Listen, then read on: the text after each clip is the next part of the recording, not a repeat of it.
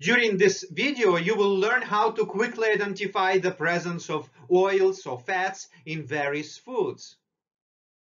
Let's run tests on potatoes, cucumbers, cookies, cheese, pine nuts and other foods for the presence of oils and fats.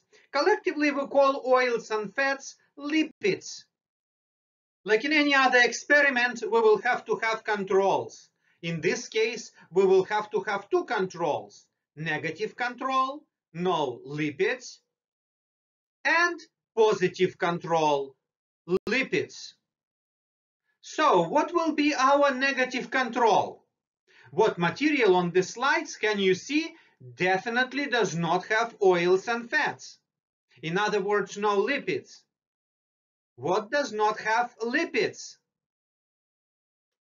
Water, of course, water. Water does not contain oils and fats. In fact, water and oil do not mix as you undoubtedly know. Thus, for negative control, we will use water. Water is not a lipid, therefore it is our negative control.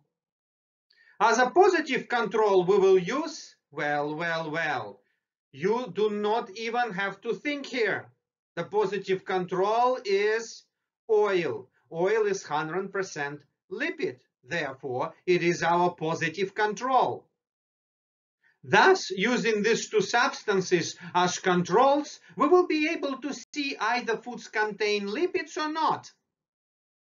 Translucency test for the presence of lipids is a very simple test. It is the easiest test I know. All you have to do is to put tested material on the bond paper, though I like to use sheets of brown paper. Cover each sample with another piece of brown paper. Crush all the material with a solid subject. I used here a rolling pin, as you could see. You can use a spoon or a hammer, perhaps. Then we remove the top sheet of paper and we see smashed potato, cucumbers, cookies, cheese and the rest. Discard the crushed material and the top sheet of the paper. Let the sheet of paper dry for about 30 minutes. Hold the paper up to the light. As you see, fats and oils on the paper make a permanent, translucent, see-through spot. Now let's think what just happened. Why all other liquids disappear while some still be on the paper and seem to be there without leaving anywhere? Or better to use word evaporating. Why some liquids had evaporated while other did not? Like oils and fats. They didn't evaporate. Oils and fats still be on the brown paper. Why? You see, lipids have high boiling point. This makes them non-volatile. But water, even at room temperature, can absorb enough heat from the air and can evaporate. But oil and fat cannot absorb enough heat from the air to evaporate.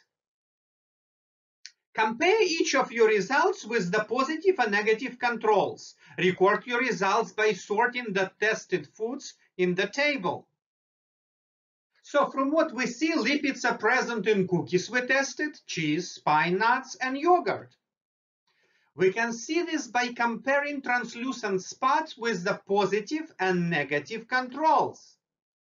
Now you can test any materials on the presence of oils and fats by simply using a piece of paper.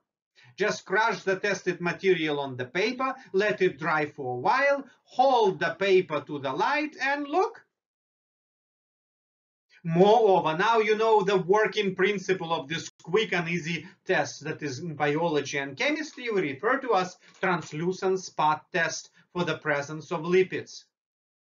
This type of test is known as qualitative analysis. As the phrase qualitative analysis implies, it is all about determination of non-numerical information. In our next videos, I will show you how to identify simple sugars and proteins in different foods. This type of analysis comes from the qualitative chemistry, a branch of chemistry that deals with the identification of elements or groups of elements present in a sample.